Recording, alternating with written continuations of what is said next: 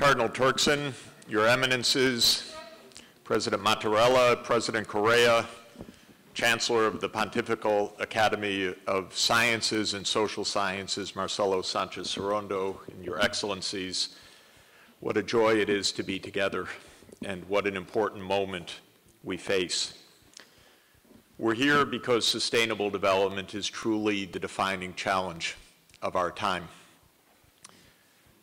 Two generations ago, we were first alerted to this unique modern challenge in which the scale of human activity, the scale of the world economy would fundamentally impinge upon and threaten the functioning of Earth's systems. One generation ago, we met, the world met in Rio at the Earth Summit to adopt basic international law to head off the collision of human activity and nature. A generation passed, and we are here today recognizing that we have not yet succeeded in facing this fundamental challenge. A generation after the Rio Earth Summit, not one of the three fundamental agreements on climate change, biodiversity, or the fight against the spread of deserts has been successful. We are here in a way with our backs against the wall because we have reached limits, the so-called planetary boundaries, the so-called new age of the Anthropocene uh, that Professor Crutzen in front of me, one of our greatest scientists of our age, uh, has uh, made known for the whole world. And we have not understood that message and acted upon it properly until now. What an amazing gathering we have, and what a rare opportunity we have to deliberate. We have world leaders, the world's top scientists, religious leaders across all of the major faiths, some of the world's top business leaders with us all together and in a unique venue. I think it's hard to imagine a venue more special and more appropriate than this one, the Pontifical Academy of Sciences, which is fully the marriage of faith and reason for the common good. And that's what brings us together today. We're here today because sustainable development is urgent. We're here today because sustainable development is far off course. And we're here today because sustainable development is utterly feasible.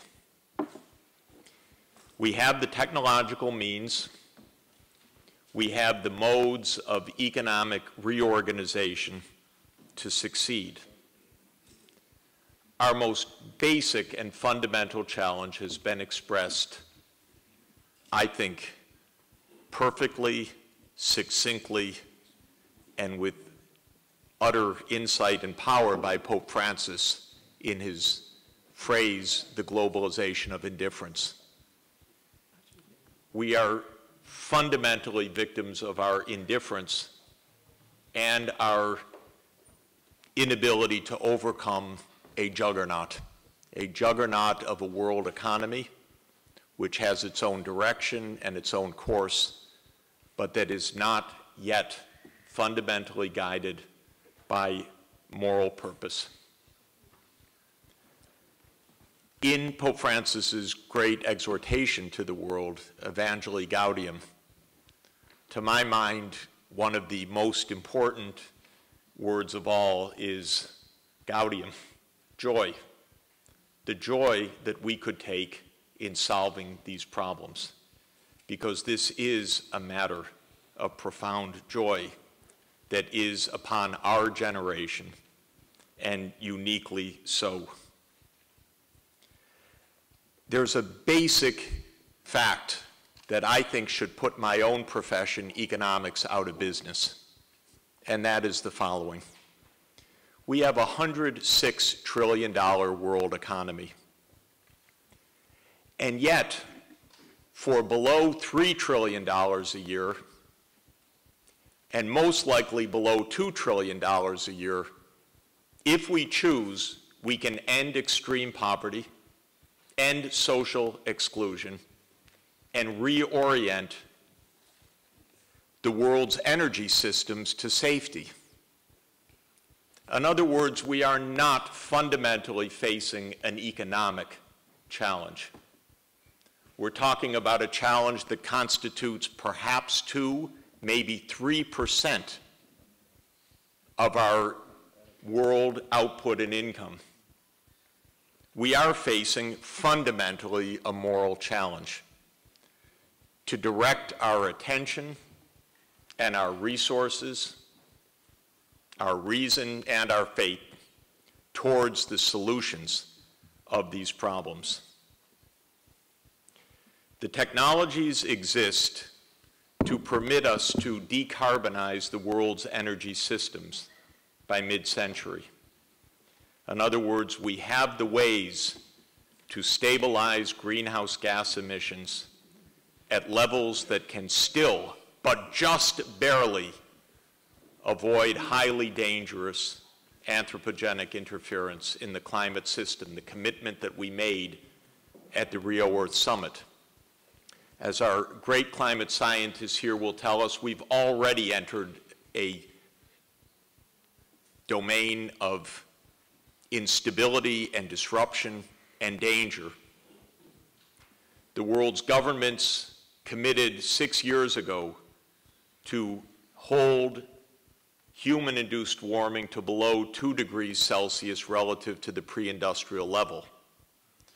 My colleague, Professor Hansen, here will tell us that's far too high for safety, even that 2 degrees. And yet we are on a course of 3 or 4 or 5 degrees Celsius, and with bad luck, even higher in the course of the 21st century. This would take us far beyond any experience of humanity as a species during our entire period of civilization. We would be cast into an enormously risky unknown, and that is the direction we are relentlessly heading towards right now. So today is an opportunity for us from this remarkable gathering across religions, across all regions of the world, across scientific disciplines, from the political sphere, from the public policy sphere, among development practitioners. This is an opportunity for all of us to join together to commit ourselves to convey a message of urgency, a message of hope, a message of faith, and a message of reason that we can surmount these challenges and that this year, the year of adopting goals for sustainable development, and the year, perhaps the last chance to reach a climate agreement after failure upon failure and now six years of building to the meeting in Paris, the 21st Conference of the Parties, where all hopes are now placed for December of this year that we finally, 23 years after signing the climate agreement, and with our last chance to have a hope even of remaining below the 2 degrees Celsius limit, much less the stronger and lower limits that would be truly safe for the planet, that we must take this opportunity. We heard from Cardinal Turkson just now that the Beatitudes are the great expression of this moral purpose. The Beatitudes from Beatitudio in Latin means the greatest happiness.